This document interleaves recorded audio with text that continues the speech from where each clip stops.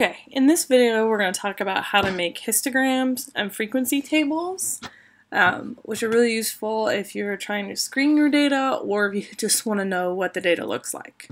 Okay, so in SPSS here I have this regression data set open, then I have um, a type of party affiliation, the location they're in, and then a bunch of different variables that we calculated on some data from our lab. I'll say I just want to make a histogram of how many Democrats and Republicans I have.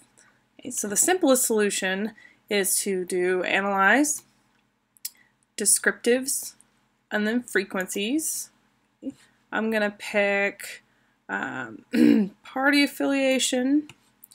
And so I could leave display frequency tables on. So this will give me the um, the frequency counts and the percentages, but if I also wanted the histogram, I would click charts and then histograms. And if you aren't good at looking at these histograms, you could turn on show normal curve. For this example, it's going to be a little silly, but we'll do it anyway. So hit continue and then OK. In this output, what I'll get, so I have one missing data point, um, is a frequency chart of the different options. So frequency charts are really great for nominal data um, or rank data because it tells you how many times people picked those categories.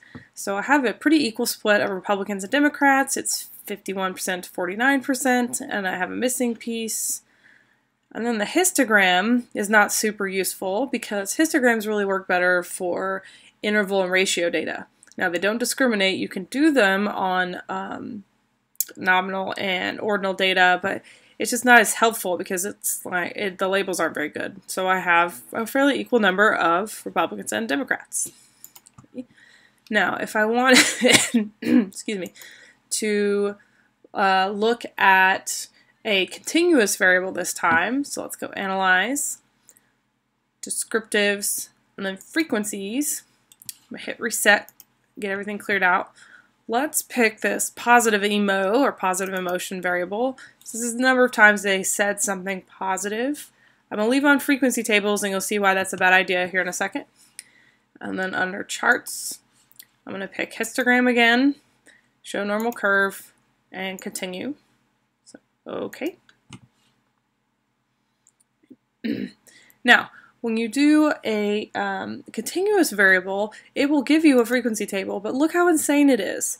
So when you have decimals on like a really continuous variable, frequency tables are not very useful because they're so large. This stuff is nuts, right? This probably is four pages worth of table. this is where a grouped frequency table would be really good, but SPSS doesn't do that very easily. So instead, I'm going to scroll past the giant table and look at the histogram of the data.